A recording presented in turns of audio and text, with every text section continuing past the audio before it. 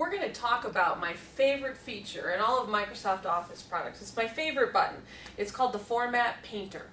So if we have a document and we have some text formatted a certain way, I spend a lot of time getting this word in a red color, underlined, italic, a certain font. So I spend all this time formatting that word. Now, let's say that I want the same format applied in different places in my document. Well, I could go in and highlight each of those pieces of text and go through that whole formatting process again. However, that's very time consuming. So there's a nice little trick called the Format Painter. What the Format Painter does, it allows you to pick up formatting that you like and paint it in different places of your document. So I'm going to select the text that has the formatting that I want to pick up that I like.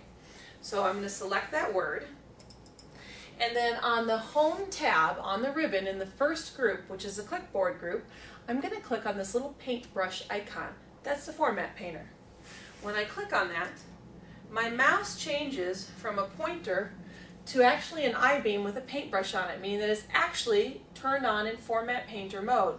So now, when I select or click on another word, it pastes that formatting right onto it with one click. Now, Another thing that we can do, it's even better, I have multiple places that I want to put this formatting, not just one word. So rather than selecting it again, clicking on Format Painter, clicking somewhere else and doing that back and forth, that's still time consuming. So I can turn the Format Painter on permanently, so I can click in multiple places and then when I'm done I can turn it off. So I'm going to go ahead and select a word again with the formatting that I like. I'm going to now double click on that Format Painter icon. Now notice I can click freely on multiple words and it will keep pasting my formatting. Now this is kind of like the Midas touch, you know, you click on different things and it turns to gold.